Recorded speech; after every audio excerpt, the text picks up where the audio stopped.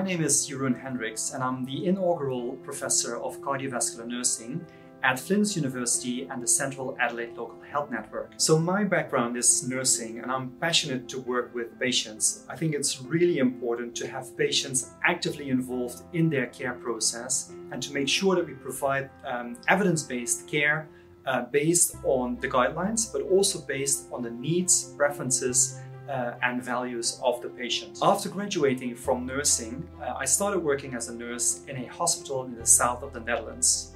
I did my Masters of Science and then afterwards I met a cardiologist and the two of us created a specialized service for patients with atrial fibrillation, a very common cardiac arrhythmia. During my work as a nurse on the ward, I saw many patients who did not really understand what their condition was about. And even when they were discharged, they got a prescription to take medication, but did not really get education on how to deal with that in the home situation. That struck me as a human being, actually, and I decided to do more with that. So that's why I'm really passionate about having patients on board, actually having them as an active team member um, and provide them with dedicated education and empower them to undertake their self-management and to work with the multidisciplinary team. So being affiliated with both the university and the local health network really enables me to look into these areas. So it really is about providing evidence-based care, so based on the current guidelines,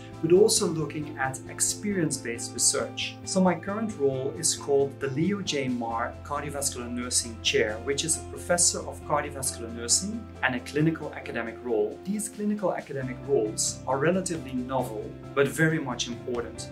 I think it's important to generate research within the clinic to really explore where there's room for improvement, where there's gaps, where there's quality improvement projects already happening and build that out and make that daily practice. So one example of the clinical academic projects is the development of an integrated care approach for patients with atrial fibrillation.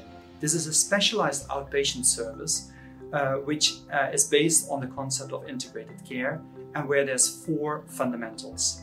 Firstly, we're having the patient on board, really important to have the patient actively involved in their care process and to provide them with education and guide them into their self-management. Secondly, we need to work within a multidisciplinary team. So here's a specific role for nurses and allied professionals who work with the patient and medical professionals amongst other uh, disciplines that can be involved in the treatment for patients with atrial fibrillation. Thirdly, it's important to, uh, to have an holistic approach in the treatment. So it's not only about atrial fibrillation, because these patients might have underlying conditions like high blood pressure, diabetes, sleep apnea, or other risk factors we need to address. And then finally, there's technology that should be, uh, should, should be used to support patients and healthcare professionals to go through the whole care process. If you're interested in these topics and would like to know more about it or would like to work with us, please get in touch through the Caring Futures Institute website.